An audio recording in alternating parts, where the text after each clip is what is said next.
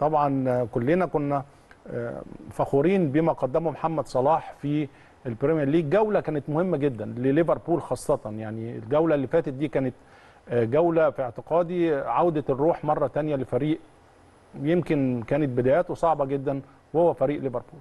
أكيد يا كابتن ماتش ليفربول امبارح والسيتي ممكن يكون turning point أو ممكن نقطة تحول بشكل كبير جدا لليفربول. ليفربول بداية سيئة جدا في المركز ال11 في الدوري. يخسر من أرسنال يخسر مانشستر يونايتد آه يخسر من نابولي في ال Champions League. آه مشاكل كتيرة جدا قابلها ليفربول. ده طبعا بسبب آه تغيير طريقة اللعب وبسبب رحيل ساديو ماني وبسبب عوامل كتيرة جدا والإصابات اللي لاحقت ليفربول من أول السنة.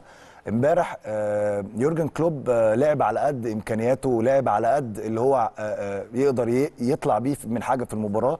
أول ما شفنا التشكيل كلنا يا كابتن هاني اتخضينا قلنا ميلنر موجود وإليوت موجود والجبهة دي أصلا وكمان جوميز أيوه. اللي بيلعب جنبهم يعني الجبهة اليمين دي كلها رايحة في داهية. ولكن ليفربول امبارح غير طريقة اللعب خالص يا كابتن وكان بيلعب 4 3 3 وغير طريقة اللعب ل 4 4 2 وبقى محمد صلاح هو ال forward وهنيجي دلوقتي برده للكلام ليه محمد صلاح تفوق؟ ليه محمد صلاح تاني رجع للتهديف؟ كلنا بنقول دايما يا كابتن محمد صلاح حطه يعني قريب من الجون. هيديك بالزبط. كل حاجة انت عاوزها هيديك assist ات هيديك الكور ال placing اللي بيعملها. غير ال position كذا مرة. يعني في وقت من الأوقات كان بيلعب على الطرف وكان من الطرف بيخش جوه بيبقى راس حربة تاني. في وقت من الأوقات زي انت بتتكلم بقى اثنين بيلعبوا اثنين راس حربة. بالظبط. في آخر المباراة حتى في الجون اللي جه محمد صلاح كان الوحيد ال striker الوحيد اللي موجود.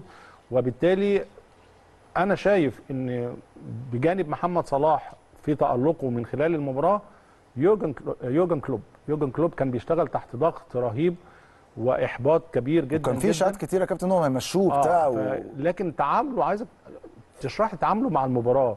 إزاي؟ زي ما أنت بتقول لقينا ميلنر بيلعب ناحية اليمين ولقينا أليوت بيلعب أيضا في ناحية اليمين.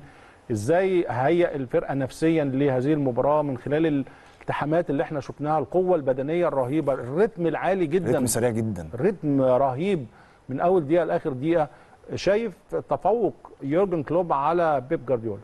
كابتن أقوى جبهة موجودة في مانشستر سيتي هي الجبهة الشمال الجبهة اللي بيلعب فيها فودن وبيلعب فيها برناردو سيلفا. وفي نفس الوقت أكبر ثغرة موجودة عند ليفربول هي أرنولد.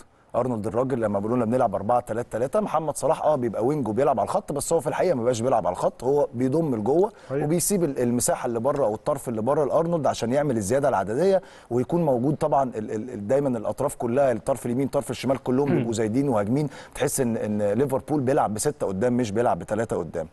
فأكبر ثغره اكبر أكبر ثغرة زي ما قلنا هو أرنولد فالراجل ميلنر آه كبير في السن آه عنده مشاكل جماهير ليفربول أصلا متضايقة منه وعنده كان عنده miss pass وعنده حاجات كتير قوي من أول ال season وعمل لهم مشاكل كتير ولكن الراجل ما بيزيدش يا كابتن هاني.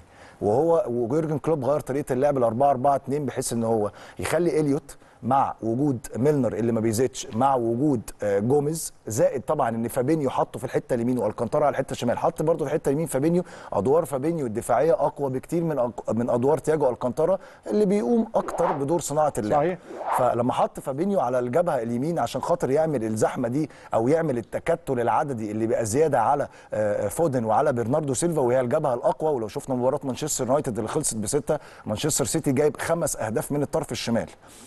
دي كان سبب من الأسباب. حاجة تانية يا كابتن هو زي ما قلنا محمد صلاح المباراة مثلا بتاعت أرسنال اللي محمد صلاح طلع فيها في نص الشوط الثاني كان بيلعبوا على الخط كان بيلعب 4 2 4 مثبت تياجو ألكانتارا في النص هو وهندرسون بيلعب محمد صلاح على اليمين جنب الخط ولويس دياز على اليمين جنب على الشمال جنب الخط والاثنين في النص داروين نونيز وفيرمينيو. وده بعد محمد صلاح بشكل كبير جدا. يا كابتن لازم محمد صلاح يدوم المواقف امبارح عمل إيه؟ خلى خلى فيرمينيو هو اللي يبقى عنده أريحية بشكل كبير إن هو ينزل وسط الملعب يسحب مع حد من ال stopper أو يقدر يفضي المساحة ومحمد صلاح يبقى موجود بحيث إن هو لو الكرة اتلعبت له على الطرف الراجل يقدر يسبق. وفي نفس الوقت يا كابتن ما خلاهوش يقوم بأي أدوار دفاعية. وده اللي ساعد محمد صلاح بشكل كبير جدا جدا إن هو يبقى براحته. لما بيلعب على الخط يا كابتن هاني دايما بيرجع عشان يعمل المساندة الدفاعية لأن أرنولد طبعا عارفين إن هو بيسيب مساحة كبيرة جدا وراه لكن امبارح كان عنده أريحية على طول واقف عند خط نص الملعب الكره اتلعبت له على الطرف اليمين أو الطرف الشمال.